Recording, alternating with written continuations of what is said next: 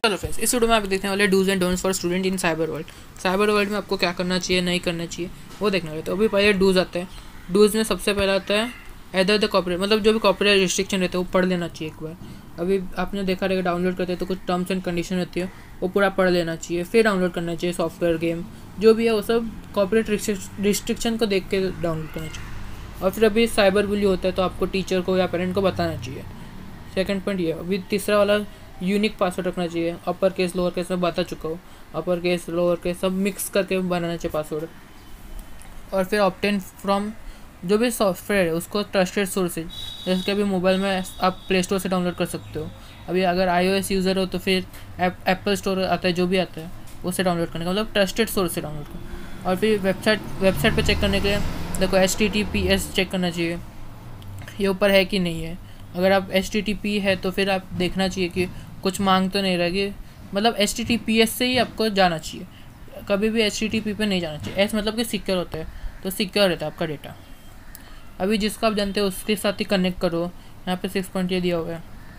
अभी कोई भी सेंसिटिव टॉपिक है, कोई पॉलिटिक्स के बारे में तो फिर आपको दो तीन बार सोचना चाहिए, दस बार, बीस बार सोचना चाहिए, या फिर नहीं करना चाहिए पोस्ट अभी इधर पे सपोज़ आपका अकाउंट हैक हो गया। सपोज़ तो आपका सपोज़ इंस्टाग्राम का अकाउंट हैक गया तो आपको है ना सबसे पहले जो भी सर्विस प्रोवाइडर है, उसको कॉल करना चाहिए। जैसे कि इंस्टाग्राम का जो भी कस्टमर का नंबर है, आपको वेबसाइट पे मिल जाएगा गूगल पे मिल जाएगा। तो आप कॉल करके बोल सकते हो कि मेरे पास, मेरा अकाउंट हैक हो गया है तो वो आपका मदद करेगा।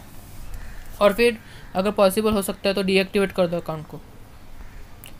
अभी देखिए कि क्या नहीं करना चाहिए। अभी क्या कर लिया, करना चाहिए, वो तो हम लोग ने देख लिया। अभी क्या नहीं करना चाहिए। अभी यहाँ पे आपका जो नाम है आइडेंटिटी नहीं देनी चाहिए किसी को भी। बिना पूछे मतलब कोई अननोन आपके जो भी जानकारी जानता है मतलब सपोज़ कोई आ गया, किसी ने आपको मैसेज कर दिया कि आपकी जानकारी दो तो नहीं देना चाहिए। आपका फ़ोटो किसी को नहीं देना चाहिए। अभी फ़ोटो तो मेरे को मालूम है, मेरे को लगता है कि इंस्टाग्राम पर पोस्ट करते के मैं भी करता हूँ, लेकिन नहीं करना चाहिए, ऐसा इसमें लिखा हुआ है। अभी जो भी ईमेल है ईमेल आपको आते हैं अननोन ईमेल आते हैं तो उसका अटैचमेंट नहीं डाउनलोड करनी चाहिए। जैसे कि जो भी ईमेल आता है, उसके साथ डॉक्यूमेंट रहते हैं, वो सब डाउनलोड नहीं करना चाहिए। अभी कोई भी सस्पिक्शियस मतलब कि कोई अननोन अननोन ईमेल आए तो उसका रिप्लाई नहीं करना चाहिए। और फिर आपका जो भी पासवर्ड ओ टी पी हो किसी को देना नहीं चाहिए। और फिर आपका यूज़र नेम और पासवर्ड को ब्राउज़र में सेव नहीं करना चाहिए। आपने अभी देखा रहेगा कि ब्राउज़र में फीचर आता है कि सेव कर लो आपका पासवर्ड तो वो सेव नहीं करना चाहिए। किसी की इन्फॉर्मेशन चुरानी नहीं चाहिए। और फिर एट पॉइंट अपना आता है डोंट एक्सेस और यूज़ मतलब सपोज़ आपका कोई दोस्त है, आपके पास, अब उसके पास गेम है, आप चाहते हो कि ले लो, अभी बिना पूछे नहीं लेना चाहिए। पूछ के ले लो कोई बात नहीं, ठीक है। लेकिन बिना पूछे नहीं लेना चाहिए। अभी कोई कॉपीराइट सॉफ्टवेयर है तो उसको कॉपी नहीं करना चाहिए। बिना ऑथर की परमिशन के मतलब मैंने जैसे कि बताया, आपके दोस्त है, उसका पेंटर आपके पास है, उसके अंदर एकदम अच्छी अच्छी गेम है। आपने देखा कि पीछे पिछले वीडियो में बताया था। तो वो बिना पूछे वो गेम नहीं लेनी चाहिए। पूछ के लो, कोई बंदा नहीं है। बिना पूछे नहीं लेनी चाहिए। अभी पहला हम लोग ने देखा कि बोले तो पेरेंट्स को कंप्लेंट कर दो तो फिर इधर पे अपने को भी नहीं करना चाहिए। मतलब कि ये तो उल्टा हो जाएगा। अभी सपोज़ कोई कोई आपको नहीं करे तो आप उस, किसी को करोगे? ये तो गलत बात है ना तो आपको भी नहीं करना चाहिए। आपने बुली वाला वीडियो नहीं देखा तो देखो, बुली क्या होता है? जो भी ईमेल आते हैं अननोन ईमेल आते हैं, आप उन रिप्लाई करते हैं। आपने देखा रहेगा जैकपॉट लग गया, ऐसा आता है। तो वो वो बुली होता है। तो टीज़ नहीं करना चाहिए। किसी को, आपका दोस्त है तो बोले कि, उसको बोलने का कि मेरे को पैसे दे, ऐसा तो नहीं करना चाहिए। और फिर अननोन मतलब अननोन से मतलब कि जो जानकारी नहीं है, जिसके पास, जिसका पास आपको कोई जानकारी नहीं है। जैसे कि आपको व्हाट्सएप पे किसी का मैसेज आया और आप उसको नहीं जानते तो आपको रिप्लाई नहीं करना चाहिए। किसी को मिलना नहीं चाहिए। जैसे कि अभी आप फेसबुक फ्रेंड है आपका, आप जानते नहीं हो तो उसको मिलना, मिलने नहीं जाना चाहिए कभी भी। अकेले नहीं जाना चाहिए। अगर कोई जा रहा है आप मतलब आप जा रहे हो तो किसी बड़े को लेके जाओ। अभी यहाँ पे यही दिया हुआ है, जो भी ईमेल का अटैचमेंट आते हैं, वो नहीं डाउनलोड करनी चाहिए। और कोई भी अननोन वेबसाइट से कुछ भी चीज़ डाउनलोड नहीं करनी चाहिए। तो ये डूज एंड डोंट्स इधर ही ख़त्म होता है। तो अभी इसके बाद हम लोग ये देखो अभी यहाँ एनक्रिप्शन है। एनक्रिप्शन क्या होता है मालूम? एनक्रिप्शन मतलब मैं कोई लेटर टाइप कर रहा हूँ, उसको मैं चेंज कर दूँगा कोड वर्ड में। आपने देखा रहेगा कोड वर्ड्स में लोग बात करते आपको कुछ समझ में नहीं आता तो दो लोग बात कर रहे तो उसको उन लोग दोनों को ही समझ में आ रहा है। अभी एग्ज़ाम्पल मेरा नाम है सपोज़ आयुष मैं उसका इनक्रिप्ट करना चाहता हूँ तो मैं आयुष को एक लेटर आगे मतलब एक की जगह मैं बी लिख दूँगा वाई की जगह जेड लिख दूँगा, ऐसे करके एक एक लेटर आगे लिख दूँगा। तो वह इनक्रिप्शन हो गया। मतलब कि आप या फिर जिसको आपने बताया कि एक लेटर आगे पढ़ना सपोज़ सपोज़ करो, अभी मेरा नाम है आयुष, सिर्फ़ आयुष लिखो। तो मैं उस, किसी को मैसेज भेज रहा हूँ, आयुष। तो मैं उसको बोल दूँगा कि एक एक लेटर पीछे आ जाना। तो अभी ए है तो मैं बी लिखूँगा बी वाई है तो जेड लिखूँगा। ऐसे ही तो उसको बोलूँगा एक लेटर पीछे आ जाना। तो उसने बी देखा बी और जेड देखा। तो फिर सपोज़ तो बी और जेड की जगह उसको मालूम पड़ेगा ए वाई लिखा ऐसा करके पूरा नाम आप देख सकते हो स्क्रीन पर तो एनक्रिप्शन वही होता है कि जो भी है अपना डाटा उसको एनक्रिप्ट कर देना। कोई भी रैंडम टेक्स्ट में चेंज कर देना। अभी इधर पे एस एस एल वही वही बात हो गई एनक्रिप्ट कर देना। जो भी है एनक्रिप्ट कर देना। उसको जो भी वेबसाइट पर आप सर्व कर रहे हो, वो पूरा एनक्रिप्ट कर देना। आपको किसी को मालूम ना पड़े। अभी जैसे कि इनकॉन्ग्रेटो मोड आता है। इसमें लेकिन आपका जो गवर्नमेंट रहता है, वो देख सकती है। लेकिन जो ब्राउज़र में सेव नहीं होता है हिस्ट्री आपने देखा रहेगा इनकॉन्ग्रेटो मोड रहता है।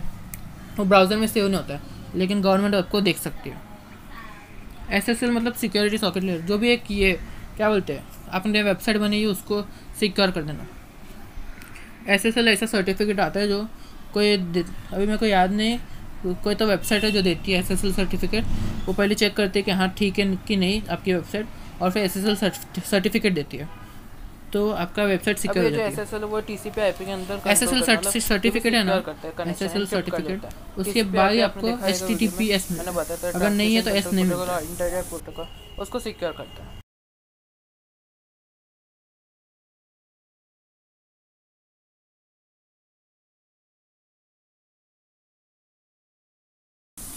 अभी फायर वॉल फायर वॉल मतलब कि आपका जो कंप्यूटर है, उसके अंदर कोई आ भी ना सके और आपके जो कंप्यूटर में जो भी डिटेल्स है, वो बाहर ना जा सके। अभी सपोज़ हैकर है कि आपके आपके कंप्यूटर में घुस, घुसना चाहता है। सपोज़ मोबाइल में ही घुसना चाहता है। आपका इंटरनेट ऑन है, वो घुस सकता है, लेकिन अगर आप फायर वॉल लगा दो, ऐसा कुछ पासवर्ड वगैरह डाल दो, बहुत ज़्यादा इंपॉर्टेंट चीज़ है, उसके ऊपर पासवर्ड लगा दो तो फायर वॉल जैसा बन सकता है वो। लेकिन जो फायर वॉल रहता है, वो क्विक हिल जैसा एकदम स्ट्रॉन्ग फायर वॉल रहता है। मतलब आप भी तोड़ नहीं सकते हैकर भी नहीं तोड़ सकते। इतना फायर स्ट्रॉन्ग फायर वॉल आपने देखा रहेगा कि गवर्नमेंट की वेबसाइट पर फायर वॉल लगे हुए थे तो अभी इसके बाद देखो पेरेंटल गाइडेंस अभी पेरेंटल गाइडेंस मतलब देखो, अभी हम लोग इसमें एकदम लाइन बाई लाइन जाएँगे। तो देखो, अभी यहाँ पे लिखा हुआ है cyber crime revolve around the जो भी अपन के एज के मतलब थर्टीन से लेकर एटीन एटीन मतलब स्टार्ट होने तक, जो भी है। उसके आजू बाजू में साइबर क्राइम रहते हैं। क्योंकि उनको एक्साइटमेंट रहती है कि क्या होगा आगे, कैसे करने का है। तो इसके लिए साइबर क्राइम टीनेजर्स के ऊपर रहते हैं। टीनेजर मतलब कि थर्टीन से लेकर एटीन के बीच में। अभी जो पेरेंट है मतलब पेरेंट को अपने बेटे को बताना चाहिए कि ये करना चाहिए, ये नहीं करना चाहिए। अभी अपने को तो मालूम पड़ गया, अपने ये लेसन है उसके लिए। अभी किसी को नहीं मालूम है। किसी को भी ऐसे मोबाइल दे दिया, कोई भी मोबाइल दे दिया। सपोज़ एक बच्चा है, उसके पास फ़ोन है। उसके माँ बाप ने मतलब कोई चेक नहीं करते, कुछ नहीं करते। वो मतलब कुछ भी देख सकते हैं फिर। क्राइम भी कर सकता है। वो भी क्राइम का दोष किस पे आएगा? पेरेंट्स पे आएगा। वो बच्चे पे नहीं आएगा, क्योंकि अभी वो बच्चा तो गिना बच्चे में ही जाएगा ना। तो बच्चे पे नहीं आएगा पेरेंट्स पे आएगा। तो पेरेंट्स को बताना चाहिए ये करना चाहिए, ये नहीं करना चाहिए। तो ये पेरेंटल कंट्रोल अभी सपो एक सपोज़ एक तेरह साल बच्चे को, तेरह साल के बच्चे ने उसके मम्मी पापा ने मोबाइल दे दिया। तो वो मोबाइल कैसे यूज़ करना है? कैसे उसको इम्प्लीमेंट मतलब अच्छे से यूज़ करना है, क्या करना चाहिए, कैसे करना चाहिए, ये सब सिखाना चाहिए। और उसको बताना चाहिए कि आपकी जो प्राइवेट डिटेल्स है, वो किसी को ना दे, उसके अपने दोस्तों को उसका नंबर दे तो ठीक है, लेकिन जो अननोन है, उसका नंबर ना दे एक्सेट्रा वो पेरेंटल गाइडेंस के अंदर थे अभी देखो, अभी मैंने बताया था कि लाइन बाई लाइन जाएगी। तो देखो, मैं अभी देखो, यहाँ से अभी पहला वाला टीन एजर्स के आसपास घूमता है। अभी parent play a vital role ensuring that the children are safe on the internet और non vulnerable to the hacker मतलब हैकर के अंदर हैकर हैक नहीं कर रहा है, उसकी आइडेंटिटी नहीं चुरा रहा है। ये पेरेंट का ध्यान रखना चाहिए। I to start with threat confidential information is confident मतलब जो भी कॉन्फिडेंशियल है, जो भी प्राइवेट चीज़ है, वो नहीं बतानी चाहिए। किसी को कॉन्फिडेंशियल ही रहनी चाहिए। कॉन्फिडेंशियल मतलब मालूम रहना चाहिए सीक्रेट रहना चाहिए, जो भी अभी जैसे कि कोई सीक्रेट है, अब अपने दोस्तों को बताते हो। कोई अननोन को नहीं बताना चाहिए, जैसे कि बैंक पासवर्ड दोस्तों को भी नहीं बताना चाहिए, किसी को भी नहीं बताना चाहिए। आपने देखा रहेगा, बोलते कि एटीएम में जाते हो तो पीछे किसी को खड़ा ना करो। मतलब वो कॉन्फिडेंशियल रखो आपका, जो भी पासवर्ड उसको। अब यहाँ पे tell children not to give personal information ये भी वही बात हो गई पर्सनल इन्फॉर्मेशन नहीं देना चाहिए। जैसे कि address telephone number Facebook password to friend दोस्तों को भी नहीं देना चाहिए। मतलब पासवर्ड नहीं देना चाहिए। अभी दोस्तों का मतलब ऐसा समझोगे कि जो भी यूज़र नेम ना दे तो कांटेक्ट कैसे करेंगे तो दोस्तों का मतलब टेलीफोन नंबर उनका नंबर दे रहे, ठीक है, चलो। उसके मम्मी पापा का दे रहे, ठीक है, चलो। लेकिन खुद का नंबर नहीं देना चाहिए। Ensuring children do not do that the vital information should be मतलब जो भी एक सीक्रेट है, वो सीक्रेट रहना चाहिए। तो देखो, अभी ये वीडियो में तो इतना हो गया तो थैंक्स फॉर दिस वीडियो अगर कोई सवाल है तो नीचे कमेंट कीजिए। और हम लोग इसके बाद वाले वीडियो में आई टू थाउज़ेंड देखेंगे। तो thanks for watching this video sorry thanks for watching this video